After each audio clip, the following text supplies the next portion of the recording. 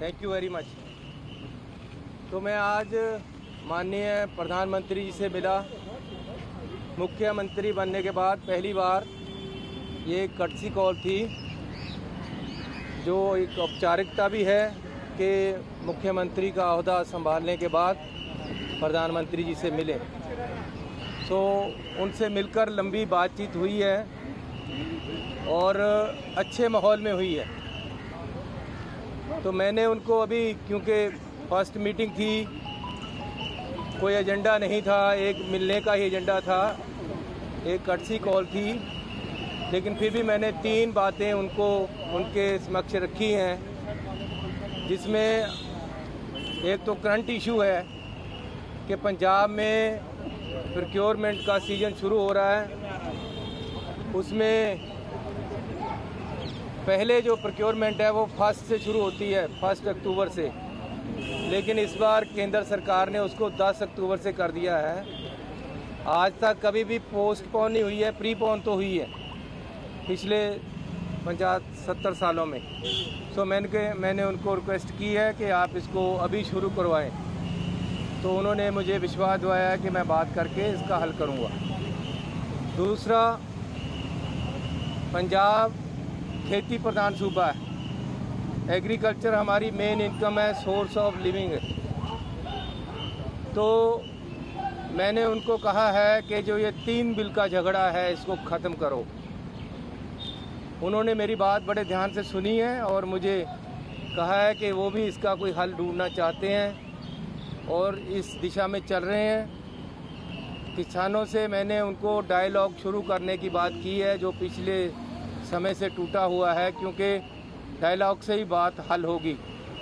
सो मैंने उनको कहा है कि ये तीनों बिल इनको ख़त्म होना चाहिए और मैंने अपने इस संबंध में विषय में बात रखी है कि पंजाब की इकॉनमी खेती पे संबंधित है, खेती से चलती है, पंजाब तभी प्रोग्रेस करेगा अगर हमारा किसान और खेत मजदूर खुशहाल होगा। घर में दाने आएँगे, पैसा आएगा, तभी सब प्यार से और खुशहाली से रहेंगे। दे, पंजाब ने हमेशा देश के लिए, देश की एकता के लिए, देश की आज़ादी के लिए बड़ी लड़ाई लड़ी है। इसलिए पंजाब को ऐसे मामलों से दूर रखना चाहिए और ये मसला है जो जल्दी हल होना चाहिए। तीसरा जो मैंने उनसे बात कही है कि पाकिस्तान और इंडिया कॉरिडोर जो बना है, जहाँ से गुरुघर को जाया जाता है, उसके लिए मैंने कहा है कि कोविड की वजह से बंद हो गया है।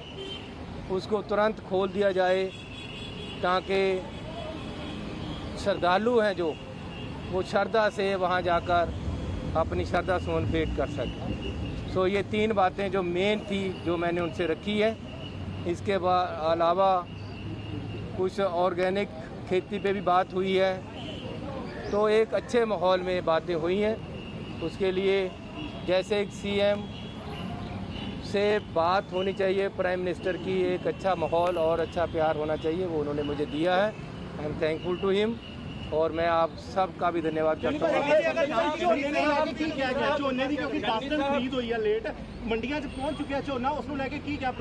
मैं दस चुके हैं कि बड़ी छेती होकर उन्होंने कहा मैं हल कर रहा चन्नी साहब पंजाब के कल्याण की बातें आपने रखी है। प्रधानमंत्री नरेंद्र मोदी से बातचीत में आपकी मुलाकात भी थोड़ी लंबी रही है चालीस मिनट के आसपास। नवजोत सिंह सिद्धू का मसला अभी चल रहा है। वो मसला सुलझ गया। यार मुझे एक बात बताओ। कौन सी इंटेलिजेंस है कि आपको मेरे से पहले पता चल गया कि 40 मिनट बात हुई है? पत्रकारिता ऐसी ही होनी चाहिए वैसे। We are proud of you press है जो देश की उस पर सब कुछ डिपेंड करता है। किसानों की बात कही तो उसमें प्रधानमंत्री ने आपने कहा कि इश्यूज़ पे बातचीत रिज्यूम होनी चाहिए। इसके ऊपर जो साथ के साथ है कुछ हल निकाला जाए तो उसमें प्रधानमंत्री जी ने आपको क्या कहा? थोड़ा उन्होंने अपने व्यूज़ दिए हैं लंबी बात हुई है वो भी हल करना चाहते हैं इस मसले को। मैंने उनको ख़ास तौर पे क्या किया है कि मेरा पंजाब सफ़र कर रहा है। मेरे पंजाब की इकॉनमी सफ़र कर रही है। मेरा पंजाब जो देश के लिए लड़ता है मरता है और हमेशा आज़ादी में देश की एकता लिए भी के लिए भी हमने बलिदान दिए हैं। तो इसकी जो ये संकट आ गया है एग्रीकल्चर का इसको दूर करें। धन्यवाद। All right, that was Punjab CM uh, giving a short statement after his meeting with the Prime Minister. Interesting uh, to note that he refused to answer the specific question on the Sidhu issue and his meeting with Navjot Singh Sidhu that took place yesterday. So, uh, still a deadlock on that, no resolution there, and uh, CM Chani also refusing to answer any question on what the current situation is at this point in time.